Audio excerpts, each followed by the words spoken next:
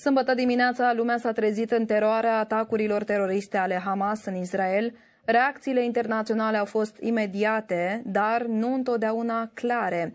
Discut subiectul alături de Marcela Ferraru, editor corespondent al News în Franța. Bună dimineața, Marcela, și bine te-am găsit. Vedem așadar că lumea occidentală a fost uh, fără ambiguitate. Cum să interpretăm totuși reacțiile țărilor din uh, regiune și altor mari puteri, precum Rusia, precum China sau India? Bună dimineața! Într-adevăr, au fost câteva uh, reacții imediate, uh, cele care au venit din partea statelor occidentale, a Franței, uh, Germaniei, Statelor Unite, uh, dar uh, ceea ce este foarte interesant este să urmărim uh, Uh, care sunt uh, reacțiile statelor uh, care se așează cumva în oglindă față în față cu statele occidentale și aici citez în special Rusia, China, e de urmărit de asemenea reacția Pakistanului și reacția Indiei, care în principiu ar trebui să fie o aliată sau în orice caz în chestiunea ucraineană a fost o aliată ca și China a Rusiei.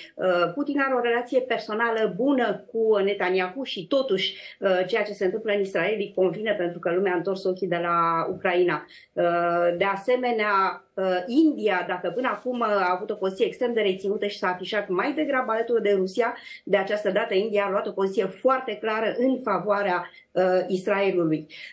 E interesant de asemenea de urmărit cum reacționează statele din regiune. Emiratele s-au pronunțat clar împotriva atacurilor Hamas, dar foarte periculos este ce se va întâmpla acum cu, cu uh, Iranul. Știm, uh, sau în orice caz este destul de uh, bine uh, documentat în acest moment, faptul că Iranul este implicat în mod direct în pregătirea acestor uh, atentate, în finanțarea Hamasului uh, și deci în tulburările pe care le vedem acum uh, în această regiune. Uh, ieri Ministerul francez de Externe uh, a emis mai multe comunicate pentru a sublinia că uh, Catrin Colonna are discuții cu omologii săi uh, uh, din zonă pentru a încerca să evite Uh, o contaminare a întregii regiuni uh, și un război care nu se va limita în cazul în care începe, nu se va limita în niciun caz uh, la Orientul Mijlociu.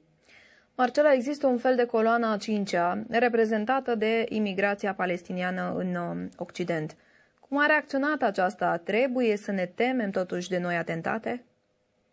Am văzut uh, manifestații ale uh, imigranților palestinieni uh, în capitale europene, în Statele Unite, în alte uh, regiuni din lume. Uh, în orice caz, ceea ce pot să-ți spun în mod sigur că la Paris și la Londra gradul de alertă este maxim, uh, gradul de alertă teroristă în special pe străzile Parisului, metrou parizian uh, este ca în vremea atentatelor de la Bataclan, de exemplu, sau împotriva Charlie Hebdo, deci foarte multe măsuri de securitate suplimentare care au fost luate. Prin urmare, această, această contaminare a atentatelor, chiar dacă ceea ce s-a întâmplat în Israel Israel nu se poate limita la acest simplu cuvânt atentat, dar această contaminare spre lumea occidentală este luată foarte în serios de către uh, capitalele europene și uh, presupun că și de către Statele Unite. Mulțumesc tare mult, Marcela, pentru informații.